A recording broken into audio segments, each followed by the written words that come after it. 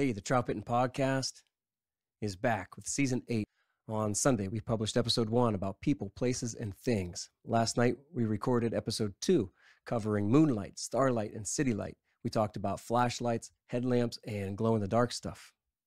We'll also cover drifting and swinging flies. We'll talk about locations, about making plans and making the right adjustments. Uh, we'll cover the topwater game. We'll get into swinging wet flies and nymphing after dark. My night fishing buddies Josh, Trevor, and Austin are joining me for this one. It's a good series, a lot of fun. You can find it over at the Troutbitten website up in the top menu under podcasts, uh, or you can download it on your favorite podcast app. Thank you. Hope you enjoy it.